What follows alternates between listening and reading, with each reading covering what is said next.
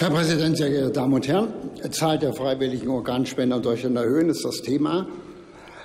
Ansatz zu wenig Organspender haben wir. Die, wir haben natürlich zwei, müssen unterscheiden zwischen der geringeren Organverfügbarkeit und den, zur geringen Spendenbereitschaft. Die zu geringe Organverfügbarkeit hängt natürlich auch damit zusammen, dass wir einen anderen Standard haben, Hirntod zu Herztod. Aber das ist nicht das Thema heute, sondern es geht um die Bereitschaft. Die Spendenbereitschaft, meine Damen und Herren, ist einer der sensibelsten, Bereitschaft, äh, sensibelste Bereiche in der Medizin. Hier geht es um Leben und Tod. Der eine kann nur dann leben, wenn der andere stirbt, meine Damen und Herren. Und das heißt, Vertrauen als Grundlage zur Motivation als Spender ist das Wichtigste, was wir hierbei haben. Und das bedeutet weiterhin, dass wir uns keine Skandale leisten können. Auch nicht der leiseste Ansatz kann die Motivation, Spender zu sein, zerstören. Und deswegen ist es so wichtig, dass wir hier ganz, ganz vorsichtig und ganz korrekt vorgehen. Die Verfahren, die wir zurzeit haben, Spendeausweis oder auch auf der elektronischen Patientenkarte, reichen nicht aus, weil man ja die oft das gar nicht bei sich hat oder nicht bei sich haben wird. Das heißt, wir brauchen eine andere Erfassungsstelle und da schwebt mir vor, als Vorschlag nur, dass wir eine zentrale Stelle haben, wo man per Knopfdruck von Seiten der Organisationsstrukturen, die das durchführen, sofort weiß, das ist ein Spender, man hat keinerlei Zweifel, man kann also arbeiten, ohne dass man recherchieren muss. Aber diese Kartei müsste auch oder diese zentrale Stelle müsste auch eine Widerspruchsmöglichkeit beinhalten, dass man auch im Laufe seines Lebens davon wieder zurücktreten kann, wenn man aus welchen Gründen auch immer der Meinung ist, man möchte es nicht mehr tun. Das Problem der Patientenverfügung sollte unbedingt vom Gesetzgeber dann mit eingebaut werden, denn das kann ja eine Organentnahme verhindern.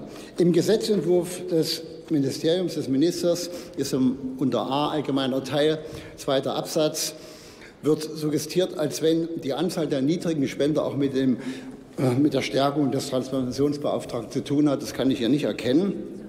Wir müssten erstmal wissen, welche konkreten Aufgaben er eigentlich nun wirklich hat, welche Qualifikation müsste er haben.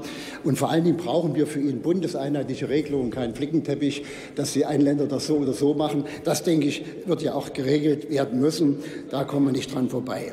Unter dem Punkt 3, Punkt 5, allgemeiner Teil, steht drin, dass der Grundstein für den Aufbau eines Qualitätssicherungssystems gelegt werden soll. Da ist natürlich sofort die Frage, hatten wir vorher kein Qualitätssicherungssystem? Das macht dann auch keinen guten Eindruck, wenn sowas erst eingeführt werden muss. Ich möchte eins deutlich machen, meine Damen und Herren, Gewinnerzielungsabsicht im Gesundheitswesen habe ich sowieso schon immer Probleme mit, das als wirtschaftlichen Zweckbetrieb zu sehen. Und hier in diesem Bereich finde ich es besonders problematisch.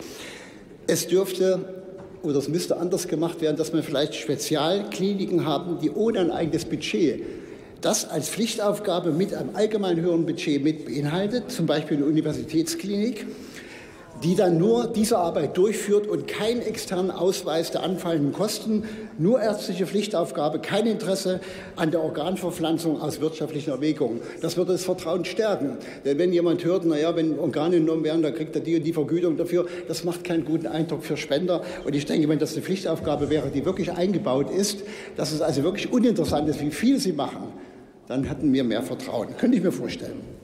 Dann denke ich daran, dass die Einbeziehung des Personals durch schlüssige, moralisch-ethische Begründungen bei deren Tätigkeit, die müsste auch gestärkt werden. Es gibt viele, die daran beschäftigt sind, die wirklich auch Probleme dabei haben bei diesem sensiblen Thema.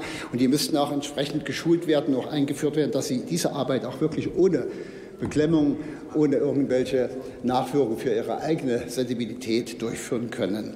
Abschließend will ich eines noch sagen.